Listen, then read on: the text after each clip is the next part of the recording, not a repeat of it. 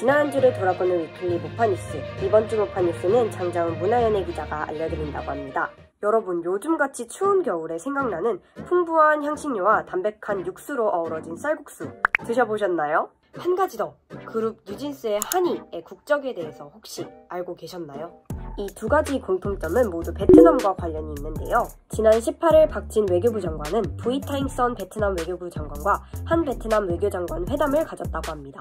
이번 회담에서는 양국 관계, 한 아세안 관계 증진 방안, 한반도 등 주요 지역 문제 및 국제 정세 등에 대해 논의하였는데요. 다가오는 12월 20일 한배수교 30주년을 맞이하여 현재의 전략적 동반자 관계를 한 차원 더 높은 수준인 포괄적 전략적 동반자 관계로 격상시켰다고 합니다.